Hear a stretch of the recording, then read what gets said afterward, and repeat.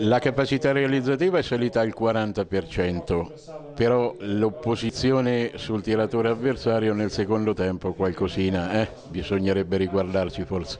Beh, però intanto bisogna anche dire a questi ragazzi bravi, oltretutto oggi non era semplice anche dal punto di vista psicologico, oggi ho aperto tre testate sportive, ho letto esame di riparazione per il Grifo, insomma dopo la seconda giornata mi sembra un po' presto sentire queste cose, comunque sia una squadra così giovane ha reagito bene apposta anche a questa richiesta e noi siamo contenti di quello che ha fatto il Perugia.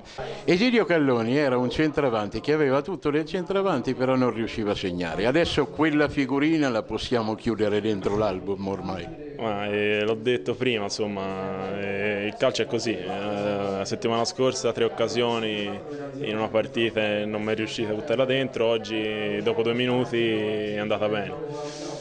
E, è così, insomma, non mi sono buttato giù in questa settimana e non mi esalterò nella prossima, resterò farò il mio, quello che devo fare in allenamento, sempre il meglio per cercare di migliorare ogni giorno e dare, un contributo, dare il mio contributo a questa squadra.